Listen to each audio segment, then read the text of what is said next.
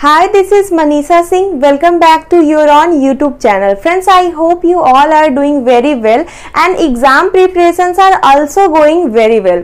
so, आज आई हूँ ना आप सभी के लिए लेकर एक और गवर्नमेंट जॉब की अपडेट जो कि डायरेक्ट निकल के आ रही है नाबार्ड की तरफ़ से ऑफ़िस अटेंडेंट की न्यू वैकेंसी 2024 के रिगार्डिंग देखिए फ्रेंड्स नाबार्ड जो है National Bank for Agriculture and Rural Development, यानी कि कृषि और ग्रामीण विकास के लिए इस बैंक की स्थापना की गई थी।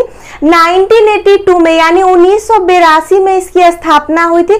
आपको बताना है कि नाबार्ड का मुख्यालय कहाँ पर है? और अगर आपको नहीं पता तो कोई बात नहीं, पता है तो ज़रूर कमेंट करें। मैं वीडियो के एंड में आपको इसका आंसर दे दूँगी।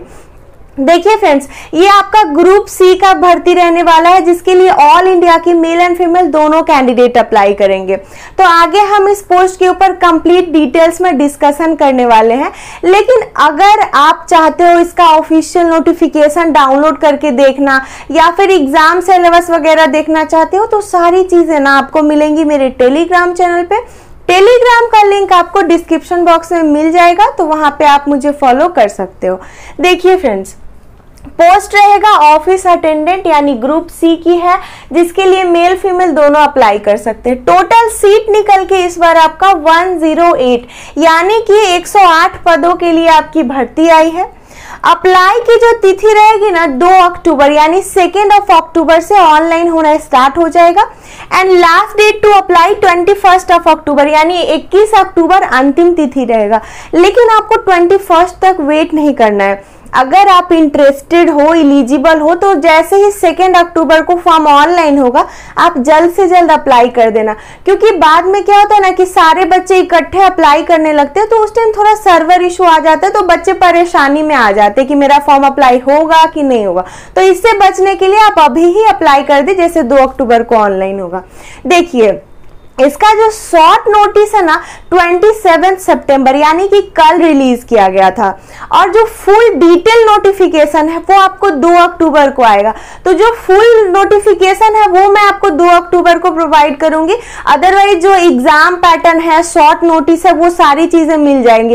और हाँ जो पिछले साल 19-20 की भर्ती आई थी ना, उसका डिटेल नोटिफिकेशन मैं डाल दूँगी, ताकि आप उससे ना सिलेबस और जो भी रिक्वायरमेंट्स होते हैं, आप देख लेना। न्यू वाले में बस क्या होगा? आपका डेट ही ना चेंज रहेगा कि अप्लाई का ये ये डेट है, बाकी सब सेम ही रहेगा तो आप देख सकते हो। ठीक है फ्रेंड्स तो ये था अप्लाई का जो डेट है, उसका बाद। फॉर्म की जो फ़ी रहेगी ना जनरल ओबीसी और ईडब्ल्यू e से फोर फिफ्टी रुपीज़ यानी साढ़े चार सौ रुपया लिया जाएगा। वहीं पर जो एस सी कैंडिडेट है एंड फिजिकली हैंडीकैप पर्सन है ना, उनसे फिफ्टी रुपीज़ यानी पचास रुपया चार्ज किया जाएगा, ज़्यादा चार्ज नहीं है ये। देखिए, अब बात करते हैं एज की लिमिट के ऊपर। लेकिन सबसे पहले जानेंगे कि what will be the cut off date for age देखिए फ़र्स्ट ऑफ़ अक्टूबर 2024 यानी 1 अक्टूबर 2024 के अनुसार 18 टू 30 यानी कि 18 से 30 वर्ष होना चाहिए। रिलैक्सेशन भी होता है एज में। वो रिलैक्सेशन आपको अपर एज यानी कि जो 30 वर्ष का आपका मैक्सिमम एज होता है, उसमें आपको छूट दी जाती है। ओबीसी को थ्री इयर्स का मिलता है तो उनके लिए है 18 से 33 वर्ष। जो एस सी कैटेगरी वाले हैं ना, उनको मिलता है फाइव ईयर्स यानी पाँच वर्ष का तो उनके लिए 18 टू 35 यानी 35 वर्ष रहेगा। आई होप एज का क्राइटेरिया आप समझ गए होंगे। अब आता है the most important thing which is the eligibility criteria और वो क्या डिसाइड करता है? एजुकेशनल क्वालिफिकेशन क्वालिफिकेशन आपका क्या है? देखिए फ्रेंड्स शैक्षणिक योग्यता सिर्फ़ और सिर्फ़ दसवीं पास मांगी गई है। मतलब कि आपने टेंथ पास कर लिया है, आपका क्या परसेंटेज है, ये कोई इशू नहीं रहने वाला है। टेंथ पास हो मैट्रिक पास हो तो आप अप्लाई कर सकते हो। अब बात करते हैं हम लोग कि इसका सिलेक्शन प्रोसेस क्या है। मीन्स कि किन किन स्टेज से पास आउट होने के बाद यहाँ पर आपका सिलेक्शन होता है। देखिए फ्रेंड्स सिलेक्शन वैसे देखा जाए ना तो थ्री स्टेज ही होता है। फोर्थ स्टेज बस माइनर आपका नॉर्मल सा होता है। पहले स्टेज पर आपका प्रीलिम्स एग्ज़ाम होता है, यानी प्री का एग्ज़ाम होता है। देखिए ऑनलाइन एग्ज़ाम होगा, दोनों ही प्री और मेंस दोनों ऑनलाइन होगा ऑब्जेक्टिव टाइप रहेगा। आगे उसके ऊपर हम लोग अच्छे से समझ लेंगे डिस्क्रिप्टिव वे में आपको बता दूँगी। देखिए प्रीलिम्स होता है आपका क्वालिफाइंग। मतलब कि प्रीलिम्स में आपको बस पास करना है, मेरिट डिसाइड करता है आपका मेंस एग्ज़ाम। तो मेंस भी क्या है आपका, ऑब्जेक्टिव रहने वाला है। उसके बाद लैंग्वेज प्रोफिशिएंसी टेस्ट यानी एलपीटी होता है। देखिए, जब आप फॉर्म अप्लाई करोगे ना तो ये ऑल इंडिया की भर्ती है। लेकिन इंडिया में के जो अलग अलग स्टेट है ना, वो सबका लैंग्वेज थोड़ा सा होता है। कहीं पर हिंदी इंग्लिश चलता है, कहीं पे हिंदी इंग्लिश उर्दू रहता है तो वो लिस्ट आपको मिल जाएगा। जो पिछले साल का नोटिफिकेशन है, मैं डालूँगी तो उसमें अभी से आप देख लेना। वैसे न्यू वाले में तो आएगा ही, किस स्टेट का क्या लैंग्वेज रहेगा। तो उसके अकॉर्डिंग आप सीट देखेंगे, किस राज्य में क्या सीट है? और क्या आपको वहाँ का भाषा बोलना आता है? मतलब हिंदी, इंग्लिश आता है तो ठीक है। मान लीजिए अगर आप कोलकाता का करते हैं, अगर वहाँ का आपको बंगाली आता ही नहीं है तो फिर आप कैसे आगे सरवाइव कर पाओगे? फिर आप तो छट जाओगे आगे की प्रोसेस में। तो एलपीटी भी पास करना ज़रूरी होता है, जो लैंग्वेज प्रोफिशियंसी टेस्ट होती है। और ये एलपीटी तक आपका सिलेक्शन प्रोसेस एकदम मेन होता है, इसमें आपको पास करना ही करना है। उसके बाद सिंपली आपका डॉक्यूमेंट्स वेरीफाई होता है। हाँ डॉक्यूमेंट्स भी आप गलत लेके जाओगे तो आपको वहाँ से हटा दिया जाएगा, लेकिन आपका डॉक्यूमेंट सही है तो बस डॉक्यूमेंट वेरीफाई होगा बेसिक आपका मेडिकल होगा, फिर ज्वाइनिंग लेटर आपको हैंड ओवर किया जाएगा। जी नहीं हैंड टू हैंड नहीं दिया जाएगा। मेडिकल के कुछ टाइम बाद मेरिट लिस्ट में आपका नाम आएगा, फिर ज्वाइनिंग लेटर आपके घर चला जाएगा। अब हम लोग बात करेंगे सिलेक्शन प्रोसेस में एग्ज़ाम पैटर्न को इन डिटेल तो चलिए उसको हम लोग समझ लेते हैं। देखिए फ्रेंड्स सबसे पहले आपका प्रीलिम्स एग्ज़ाम होता है। प्रीलिम्स एग्ज़ाम कब तक हो सकता है? जैसा कि आप देख पा रहे हैं, यहाँ पर आपका ट्वेंटी फ़र्स्ट अक्टूबर मतलब मान के चलेंगे पूरा अक्टूबर आपका फॉर्म अप्लाई होगा तो इसके दो महीने बाद तो नवंबर, दिसंबर दिसंबर के लास्ट से लेके जनवरी तक आपका एग्ज़ाम हो जाएगा। और ये कोई मैं अपने मन से नहीं बता रही हूँ। मैंने पिछले जो भर्ती आई थी, उसके अकॉर्डिंग मैं आपको बता रही हूँ। और इस बार एग्ज़ाम का डेट नहीं दिया है। जैसे ही आपका नोटिफिकेशन आएगा ना, उस वक्त बता दिया जाएगा किस महीने में एग्ज़ाम हो। फिर भी आप ये मान के चलो कि दिसंबर, जनवरी में होगा तो तैयारी की स्पीड को बूस्ट कर लेना आप, ठीक है? अब बात कर लेते हैं प्रीलिम्स एग्ज़ाम के पैटर्न के ऊपर। ऑनलाइन एग्ज़ाम होता है।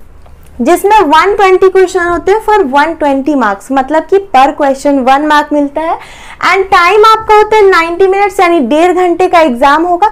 And there will be negative marking of one by four means की 0.25 की है निगेटिव मार्किंग ठीक है? सब्जेक्ट वाइज बात करें तो रीजनिंग से 30 क्वेश्चंस हो जाएँगे मैथमेटिक्स यानी गणित से 30 क्वेश्चंस हो जाएँगे। जनरल अवेयरनेस जिसमें कि GK GS current affairs and science आपको कंबाइन करके कंप्यूटर वगैरह सबसे पूछा जाता है। 30 क्वेश्चंस और हाँ ये नाबार्ड का पेपर है तो नाबार्ड स्पेशल भी आपको जीके पूछेगा तो उससे रिलेटेड भी पढ़ के जाना है। लास्टली इंग्लिश लैंग्वेज के 30 क्वेश्चन फॉर 30 मार्क्स ये आपका एग्ज़ाम पैटर्न है 120 प्रश्न 120 नंबर के लिए डेढ़ घंटे की परीक्षा होगी। प्रीलिम्स ओनली फॉर क्वालिफाइंग है, इसका मार्क्स आपको मेरिट डिसाइड नहीं करेगा, लेकिन अगले स्टेज तक आपको जाना है कि नहीं, वो ज़रूर डिसाइड करेगा। तो इसको भी मेन मान के चलना है, इसमें क्वालिफाई करोगे, तभी तो मेंस में बैठोगे ना आप। अच्छा स्कोर करने के लिए प्रीवियस ईयर का आपको सेट लगाना है मॉडल पेपर बनाना है, और जितना भी सब्जेक्ट होता है, वो सबका सिलेबस देख के और तैयारी की स्पीड को बूस्ट कर लेना है, ठीक है? अब बात करते हैं प्रीलिम्स के बाद जो आपका मेंस एग्ज़ाम होगा, उसके पैटर्न के ऊपर। तो वो भी ऑनलाइन होता है और ऑब्जेक्टिव टाइप ही होता है। इसमें भी आपको डेढ़ सौ क्वेश्चन यानी 150 क्वेश्चन होते हैं 150 मार्क्स के लिए। पर क्वेश्चन वन मार्क मिलता है एंड टाइम जो होता है ना 120 मिनट यानी कि टू आवर्स दो घंटे का रहता है। निगेटिव मार्किंग यहाँ पर भी वन बाई फोर यानी 0.25 का हो जाएगा।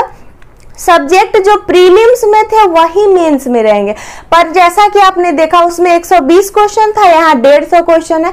तो बस आपको पर सब्जेक्ट आपका नंबर ऑफ़ क्वेश्चन बढ़ा दिया गया। यहाँ पर देखिए, रीजनिंग से 35 क्वेश्चन पूछे जाएँगे। मैथमेटिक्स के 35 क्वेश्चन पूछे जाएँगे। जनरल अवेयरनेस से भी 35 यानी 35 प्लस लास्टली इंग्लिश लैंग्वेज के 35 क्वेश्चन। देखिए, मैंने आपको स्टार्टिंग में ही यहाँ पे सिलेक्शन प्रोसेस बताते वक्त बता दिया था कि आपका जो मेरिट बनता है ना, वो बनता है मेंस का जो डेढ़ सौ नंबर है उसके बेसिस पे। तो बस इसमें क्वालिफाई करो और इसमें अच्छा बहुत ही अच्छा स्कोर करो कट ऑफ़ के अकॉर्डिंग तब आपका सिलेक्शन होता है।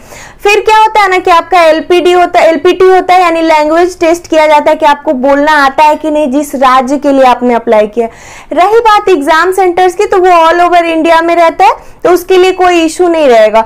जॉब की लोकेशन आपकी ऑल ओवर इंडिया में रहेगी। अब बात करते हैं what salary will you get after your selection देखिए सिलेक्शन के जस्ट बाद ही ना आपको पैंतीस हज़ार रुपए से शुरुआत की जाती है सैलरी की। मतलब कि दसवीं पास भर्ती है ऑफ़िस अटेंडेंट की, क्योंकि आपका नबार्ड में हो रहा है, जो कि आपका इंडिया का सरकारी बैंक है परमानेंट जॉब रहेगा, इसके लिए आपको पैंतीस हज़ार पर महीने से शुरुआत की जाती है। तो जब शुरुआत में ही आपको पैंतीस हज़ार दे रहे तो बाद में बढ़ते बढ़ते सैलरी क्या होगा, ये तो आप भी अनुमान लगा सकते हैं। अब जैसा कि इससे रिलेटेड मैंने आपको सारी जानकारी दे दी बट स्टार्टिंग में मैंने आपको बताया था कि नाबार्ड का क्या हुआ था। नाबार्ड की स्थापना हुई थी 1982 यानी उन्नीस में हुई थी। और मैंने आपसे एक क्वेश्चन पूछा था कि नाबार्ड का मुख्यालय कहाँ पर है। तो आपने अगर कमेंट कर दिया है तो बहुत अच्छी बात है, नहीं तो ये जान लीजिए कि नाबार्ड का मुख्यालय मुंबई में सिचुएटेड है। और आई होप कि इस पोस्ट के रिगार्डिंग कंप्लीट डिटेल्स आपको मिल गई होगी। अब भी कुछ डाउट एंड कंफ्यूजन है तो कोई हेजिटेट नहीं करना है। कमेंट करके क्वेरी को सॉल्व कर लेना है। अदरवाइज़ वीडियो अच्छी लगी हो यूजफुल लगी हो तो एक लाइक कर देना है, अपने फ्रेंड्स के साथ भी शेयर कर देना है।